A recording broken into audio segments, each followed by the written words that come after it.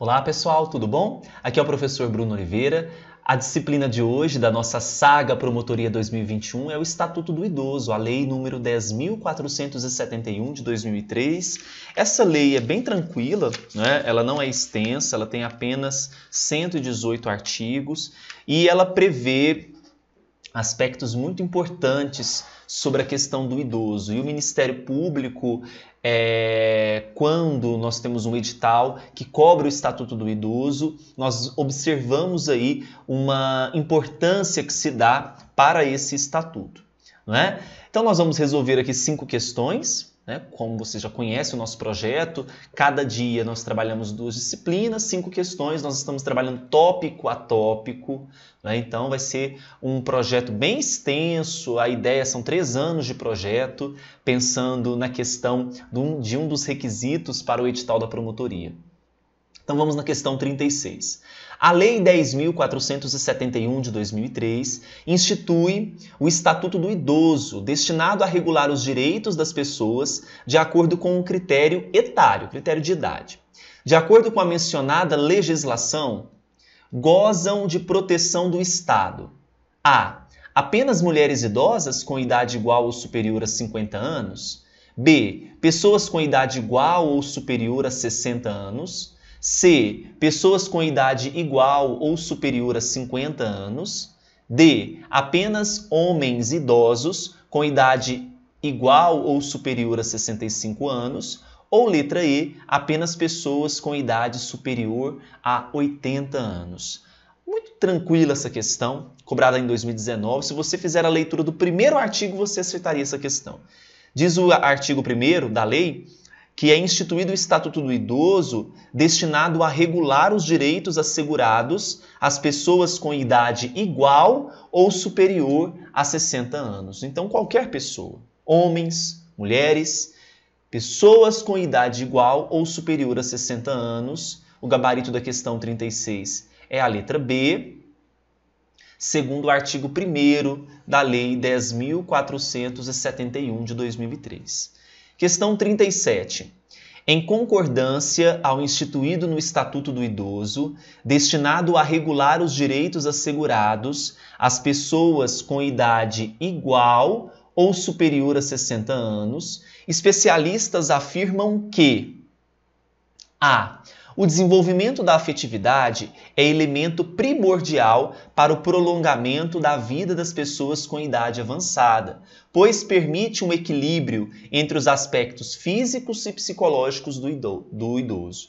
Olha, os é, especialistas, com base na perspectiva da lifespan ou expectativa de vida, não aborda isso, né? Pelo contrário, é, segundo a perspectiva lifespan, o desenvolvimento desses padrões de envelhecimento do idoso né, não vão depender somente da natureza genética biológica, mas sim serão influenciados por fatores, fatores socioculturais. Então, a inserção na cultura, a inserção na sociedade, permite um envelhecimento mais sadio, um envelhecimento que vai acontecer de uma forma natural, mas um, um envelhecimento equilibrado.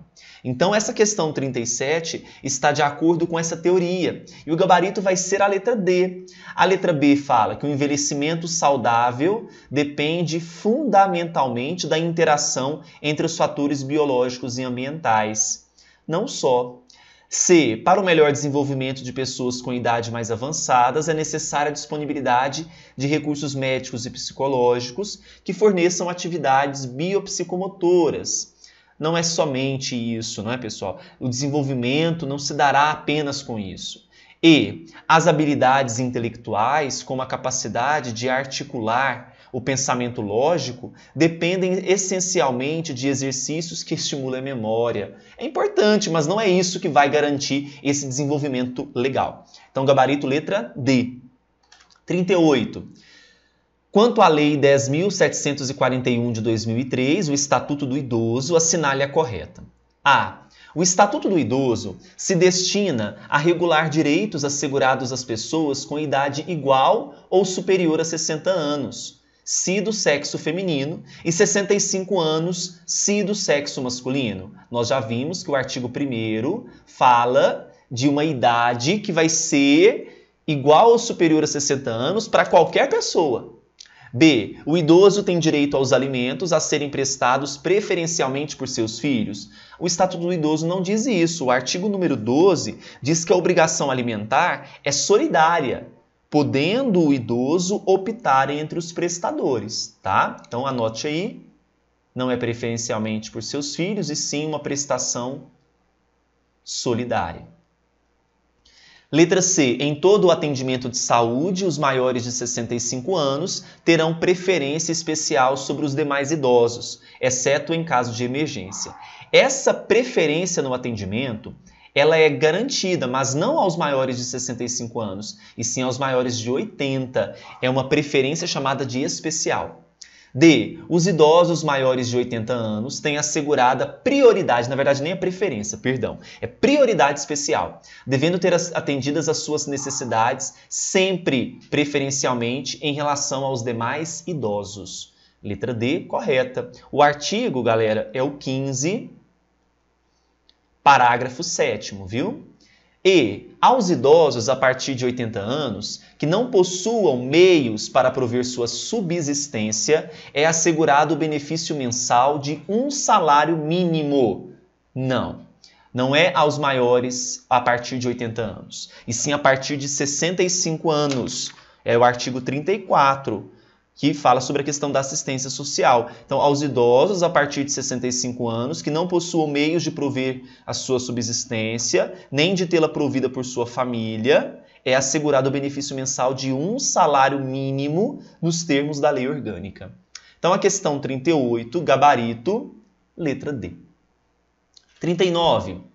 Todas as pessoas idosas têm iguais direitos garantidos pelo Estatuto do Idoso, que não discrimina a prioridade especial dentro do grupo por critério de idade dos indivíduos idosos. Lembra que nós falamos da chamada prioridade especial? E ela será conferida àqueles a partir de 80 anos. Isso está lá no artigo. Conferir aqui para vocês, é o artigo 1 Primeiro não, desculpe. É o artigo número 15, parágrafo 7 Então, artigo 15, parágrafo 7 diz que em todo atendimento de saúde, os maiores de 80 anos terão preferência especial sobre os demais idosos, exceto em caso de emergência. Então a gente pode observar aqui essa prioridade que será garantida ao atendimento de saúde no caso de, é, no critério, né, dentro do critério do direito à saúde. Então, questão 39 está incorreta. Questão 40. João, Maria e Pedro têm respectivamente 65, 60 e 55 anos de idade. Nos termos do Estatuto do Idoso, são assegurados direitos somente a, olha, muito simples essa questão, né? tranquilíssima. O artigo 1 prevê que será instituídos esses direitos assegurados às pessoas com idade igual ou superior a 60 anos. Então, contemplaria Maria, contemplaria João. Pedro, não. Então, João e Maria, gabarito, letra I.